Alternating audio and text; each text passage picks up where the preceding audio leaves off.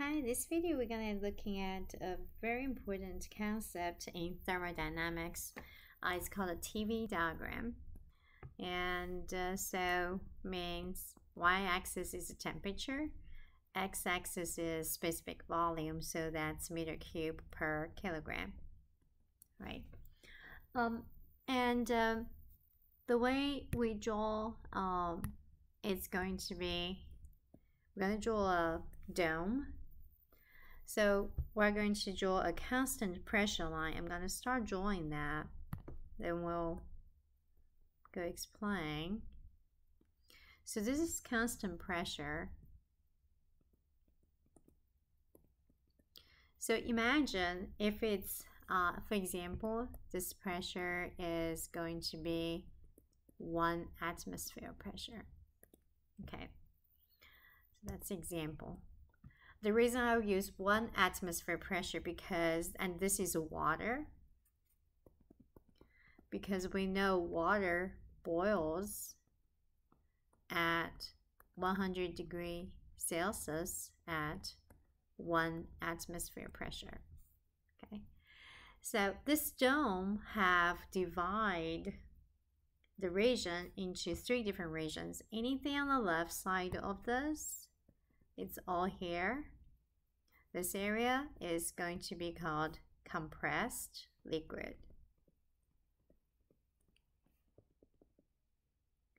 And anything inside the dome, that's going to be a mixture we call saturated liquid and vapor mixture.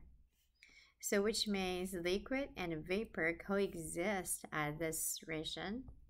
And on the right side of the dome, that's going to be superheated vapor.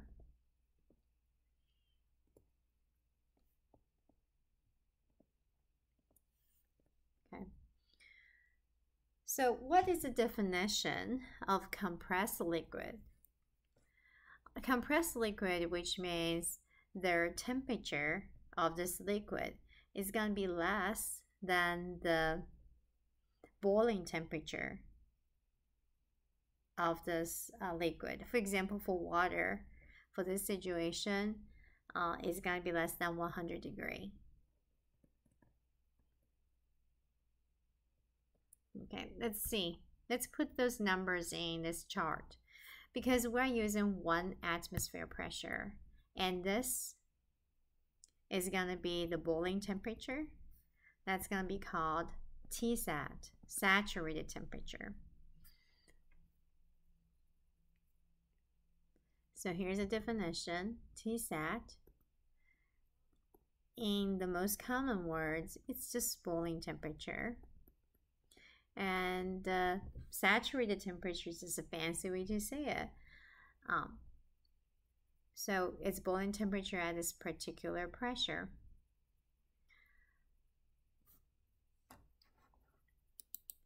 We know, we think, it, uh, we know like if you have a pot of water and uh, you have some kind of fire source underneath trying to boil this water right here. The temperature at the beginning might be you just take out this water from the sink and let's say that temperature might be just a 10 degrees Celsius. And so maybe somewhere here that's about 10 degree Celsius. And that's we call compressed liquid because that temperature at one atmosphere is way less than the boiling temperature 100 degrees Celsius. So now we're going to continue to add heat to it. So when we add heat to it, what happens? We're going to follow this line here. When you add heat to it, so the temperature increase, and you know specific volume increases just a bit until this temperature gets to this saturated temperature or boiling temperature. In this situation, it's 100 degrees Celsius. So at this first point, if I call point A here, what happened at point A?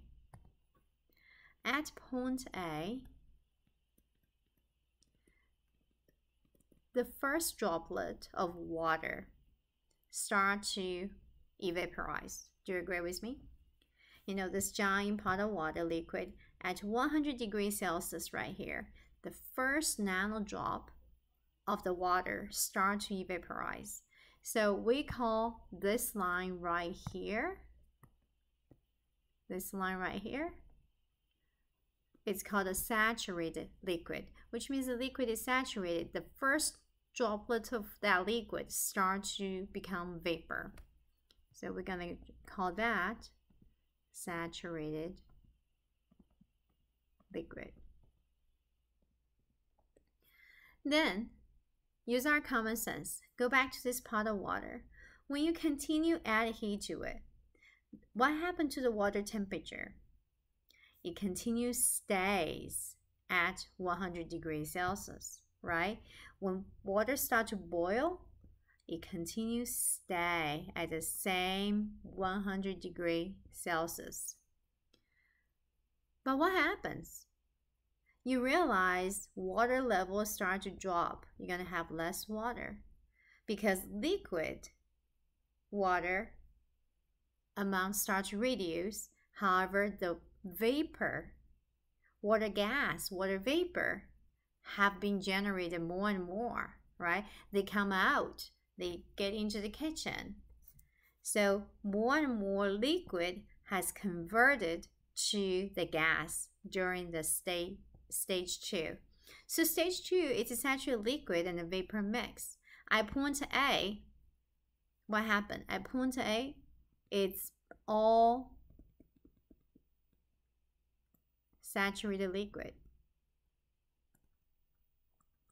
And as we continue add heat, we're going to get into more and more liquid converted to vapor until we get into point B. What happens? The last droplets of water have become vapor. So point B, it's all saturated vapor.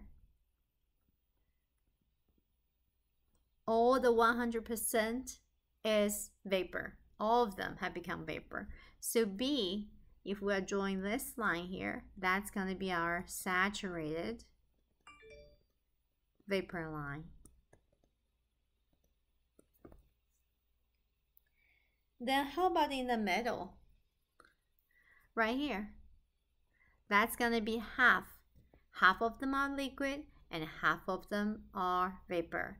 So in order to figure it out, what's the portion of it, we come up with a concept called quality. Quality has a symbol X. The definition is mass of the vapor over total mass. Total mass is what? The mass of the liquid, saturated liquid, plus mass of the vapor. Like we said, at point A,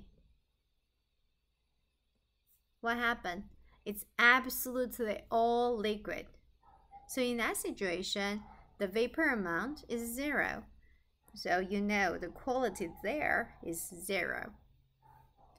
Then let's look at another extreme point, which is at point B. All of the mass have become vapor. So this is all of the mass vapor and the total mass, there's no liquid, it's completely the vapor. So in that situation, x is going to be equal to 1.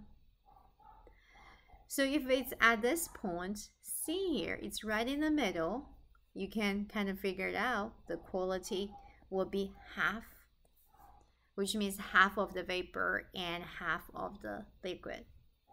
Okay. So that's a good point to now understand about the quality. Then we're going to continue. We said when we continue add heat, um, you have this water, more and more liquid becomes vapor. The quality X increases from 0 to 1.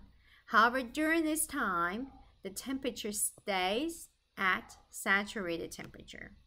Okay, so here we can come back to say the mixture is this temperature here, it's going to be stay at saturated temperature. For this example, it's 100 degrees Celsius. earlier, for compressed liquid, the water you just take out from the sink to have it trying to get boiled.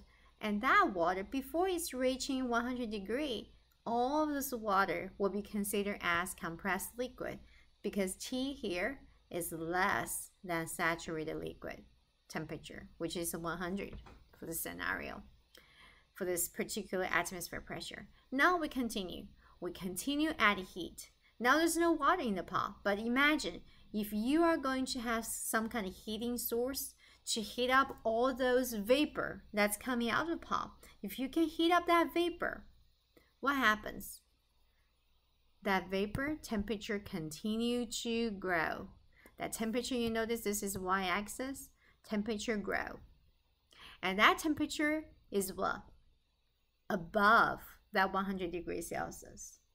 And that we get into region 3. So that's called the superheated vapor.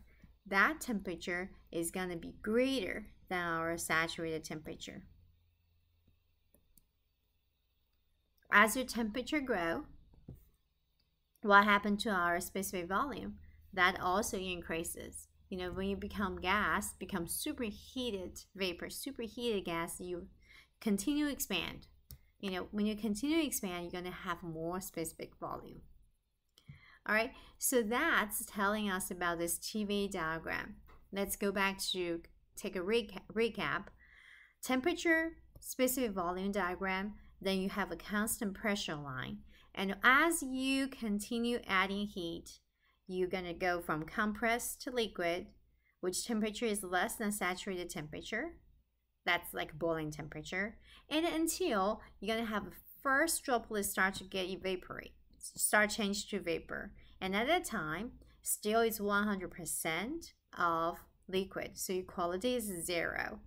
Then you continue add heat, your temperature stays at constant temperature while more and more liquid become gas. Therefore, your specific volume increases, right? Because gas take more volume. Then you continue somehow be able to add heat to this satur uh, to this vapor, then your temperature increases, gonna be even higher than the saturated temperature and so is the specific volume. Okay, now we're going to looking at another quick points. We're going to quickly just draw a TVA diagram now. Start with the dome. We know there are three regions, right? Compressed liquid, saturated liquid vapor mix, and the superheated vapor. And if we were to draw this constant pressure line, this is P uh, 1, pressure 1, that's a constant, constant pressure. Then if we're going to draw another pressure, P2, it's also a constant, but this time you realize P2 is above P, uh, P1 is above to P2. And here I'm going to say P1 is actually greater than P2. Why is that? Because we said earlier in the previous phase diagram, when the pressure goes up, what happened to the boiling temperature? The boiling temp is going to go up as well. When the pressure go down, the boiling temperature go down. That's why when you like when you are at a high mountain, you know, when you're at higher altitude, the pressure goes down, right? When the pressure goes down, when you're trying to camping or cook something, cook, let's say you're boiling an egg, you start to realize the egg starts to boil at like 80 degrees Celsius. You know, not at 100 because it's at lower pressure. That's why when you cook something at lower pressure, you actually have to cook longer because the boiling temperature is lower. It just takes longer to cook. Okay, so in this situation, remember this point? That's going to be our T sat, a fancy way to say boiling temperature. So that's T sat at pressure 1. This is going to be our saturated temperature at pressure 2. If P1, oh, I got it wrong. This is P1.